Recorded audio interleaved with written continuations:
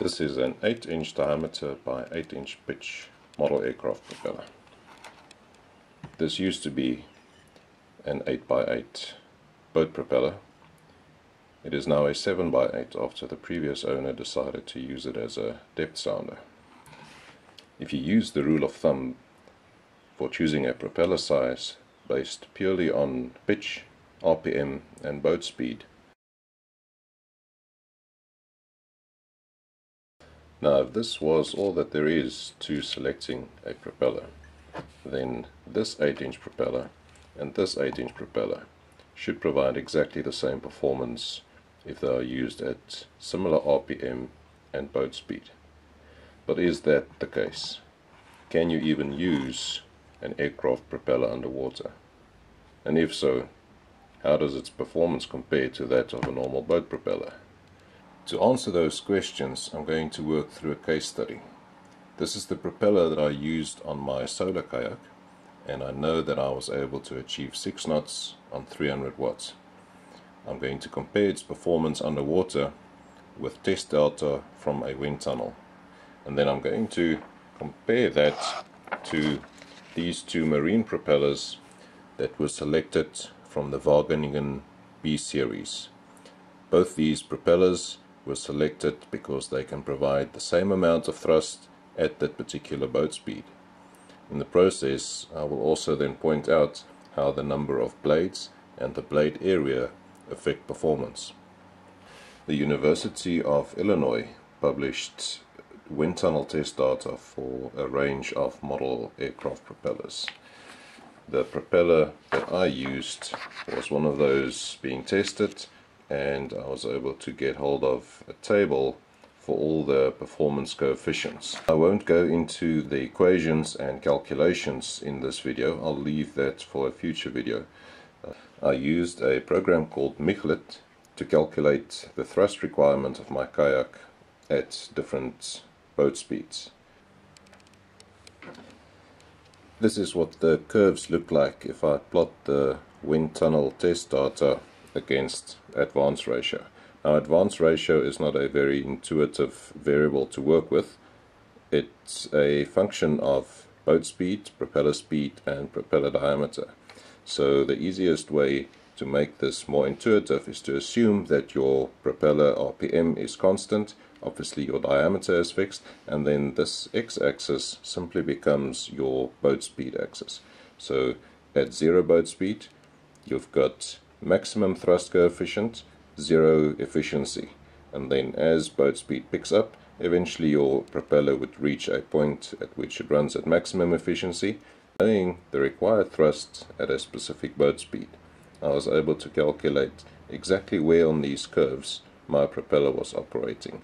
It happened that the efficiency was just beyond maximum efficiency and then reading off from the same value of advance ratio I could get the torque coefficient as well as verifying that the thrust is exactly the required thrust. Now being able to calculate the torque required at that point and knowing my electric motor's torque versus current required I'm able to calculate the current required to be 14.8 amps. As it happened, I was monitoring my current at the time and my current draw was only 13.6 amps. And that then brings us to the very important question of applying wind tunnel test data to a prop that is actually running underwater. To understand why I'm allowed to use a thrust coefficient that was obtained from a test done in a wind tunnel and yet calculate the thrust of that same propeller when operating underwater, it's necessary to point out that these coefficients are calculated through something called dimensional analysis. What that means is that the system is characterized and then all the operational variables are separated from other attributes that will be assumed to remain constant. So to calculate the thrust, the coefficient becomes one of the variables used in the equation. Other variables are density of the fluid, propeller speed and propeller diameter. Now density is unique to the fluid and the fact that it's been separated out allows you to plug in whatever density you want based on whatever fluid your propeller operates in. When these coefficients were calculated, dimensional analysis required a certain group of attributes to remain fixed. These are the following. The pitch to diameter ratio, the expanded area ratio, the number of blades denoted as Z, and the Reynolds numbers. If any of these values change, then that set of coefficients is no longer valid and you need an entire new set of coefficients. These top three values are all specific to the propeller geometry. Reynolds number is a function of both geometry, speed, and fluid properties. So just to deal with the air versus water and get that out of way, let me quickly explain how Reynolds number affects propeller performance. Reynolds number itself is a function of a length measurement, a speed measurement, and a fluid property which involves density and viscosity. Now with propellers, the length measurement is simply the blade chord at 75% of its radius. The speed measurement is the tangential velocity of that chord at that position. And then the fluid is simply the density of the fluid divided by the, the viscosity of that fluid. I know the RPM at which my aircraft propeller was tested in the wind tunnel, so I was able to calculate the Reynolds number for that specific test. And at 6000 RPM, it had a Reynolds number of 80,000. If it was turning at 6000 RPM underwater, the difference in fluid properties would have led to a Reynolds number that is 15 times higher. But at the same time, had I reduced the RPM by 15 times, I would end up with exactly the same Reynolds number even though I'm running in water. So if my propeller was running at 400 RPM, the Reynolds number would be 80,000. That set of coefficients would still apply exactly as is and simply by swapping that density from air to water, in other words a thousand times more, I will be able to calculate the thrust very accurately. But I wasn't running at 400 RPM. From my previous calculations, I was able to calculate that my propeller was turning at 1060 RPM. That means I was actually running at a much higher Reynolds number than the set presented by this curve over here. Now what is the implication of that? Well, let's have a look at the remaining wind tunnel test data.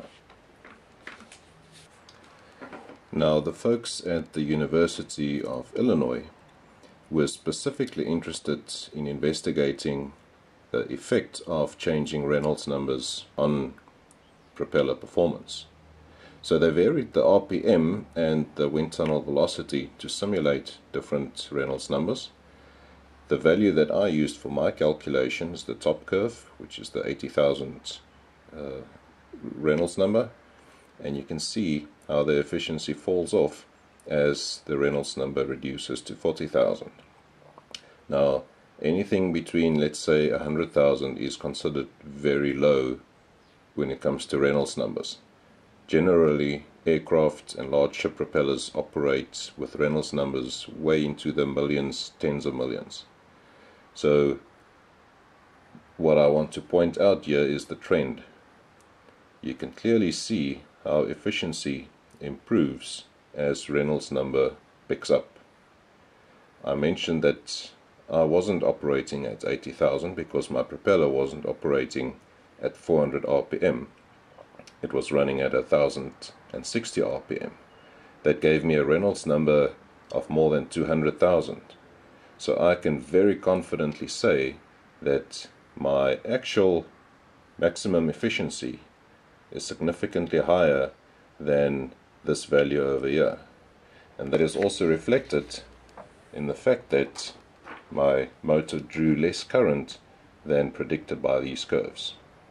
The only reason I wasn't using as much power as the fact that the propeller was in fact operating at an even higher efficiency than presented over here.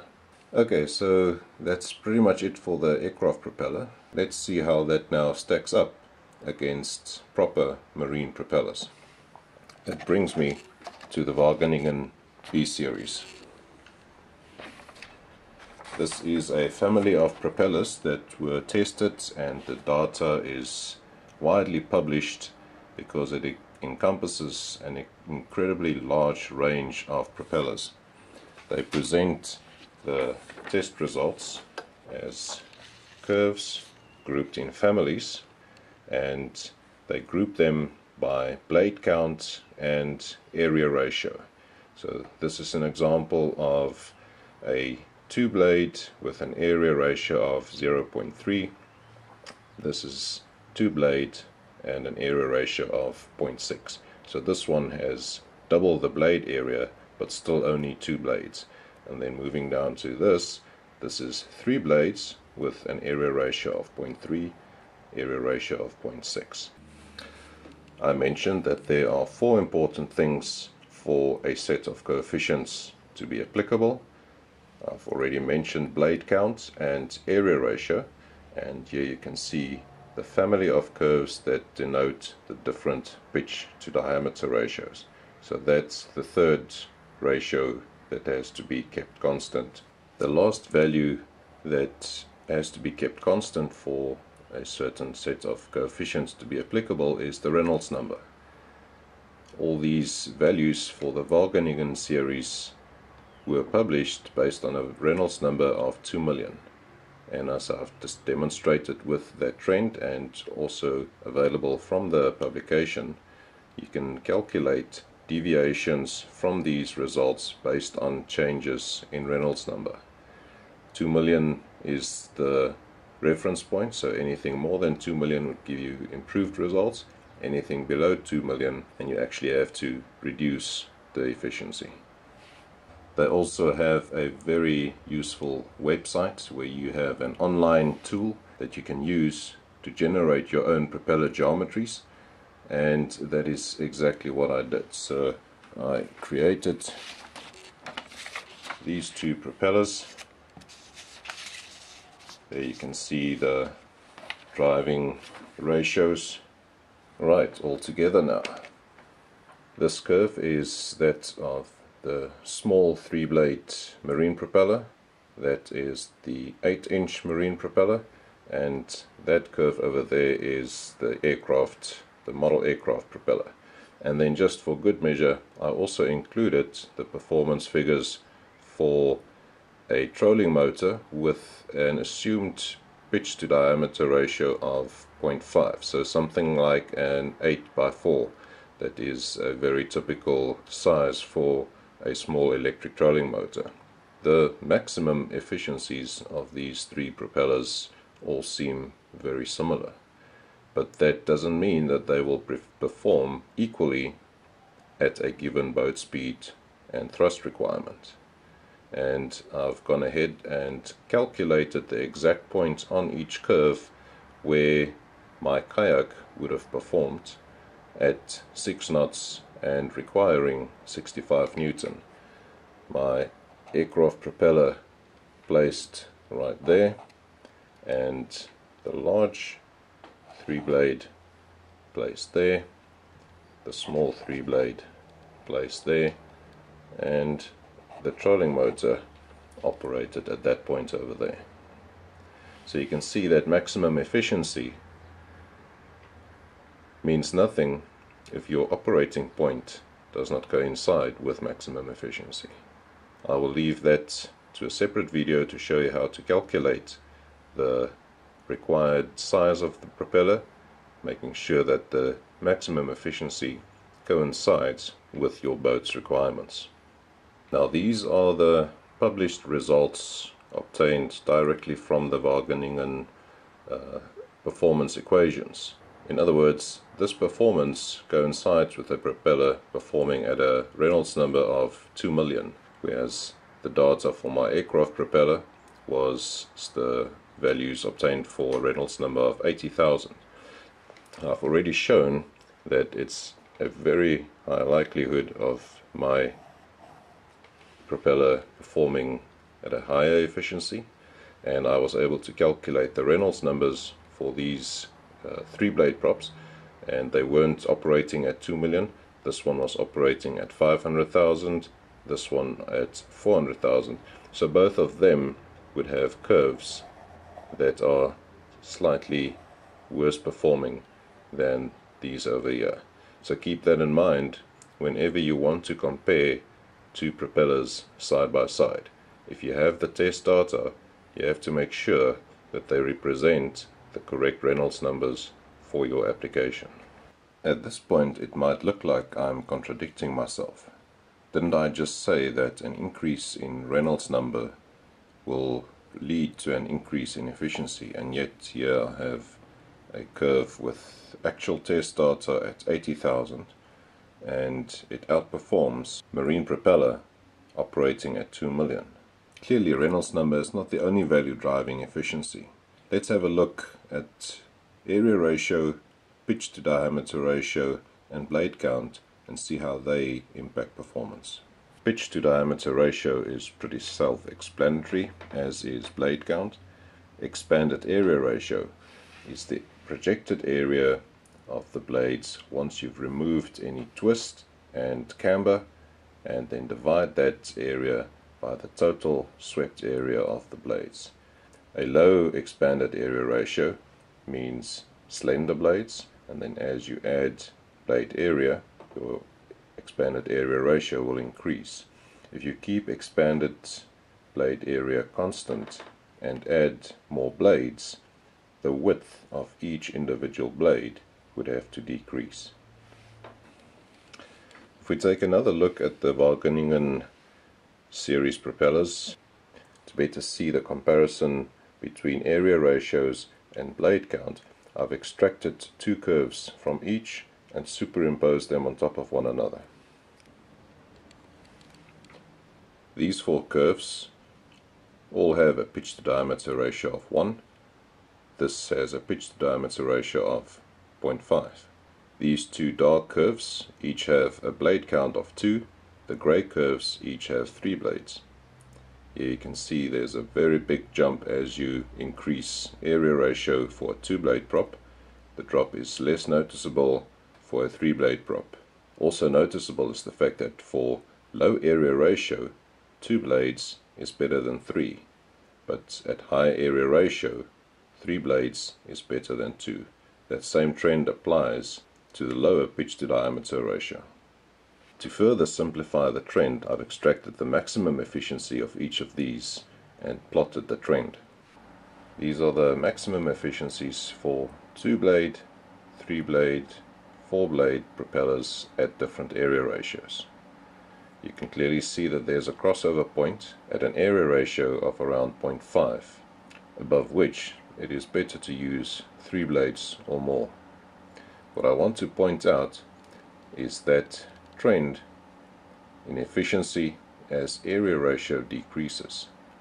Now the Wageningen series has a minimum area ratio of 0.3. That doesn't mean that you can't reduce that any further. It doesn't take a rocket scientist to extrapolate the data and conclude that you can further increase efficiency by further reducing the area ratio. Model aircraft propellers such as these have area ratios in the vicinity of 0.1. that is a very strong contributor to their high efficiency. As area ratio decreases, you do end up with conflicting trends in efficiency. Low area ratio means low blade chord. Low blade chord means low Reynolds numbers, which has a negative effect on efficiency. However, as you can see from the results, blade area ratio is obviously the stronger driver, as it more than makes up for any losses due to low Reynolds numbers. If you ask most people to point out the difference between a marine propeller and an aircraft propeller, I'm sure they will point out the total blade area and more specifically the blade chord to blade length. But if you look at the Wageningen series, they've tested propellers with blade area ratios as low as 0.3 and blade counts as high as 7. As I mentioned before, if you keep the blade area ratio the same but you add more blades, then each blade width has to decrease. So I took a 6 blade Wageningen propeller with an area ratio of 0.3 which means each blade is one third the width of a two blade propeller of the same area ratio. I then simply removed two of the opposing blade pairs and I ended up with this. Now doesn't that look familiar?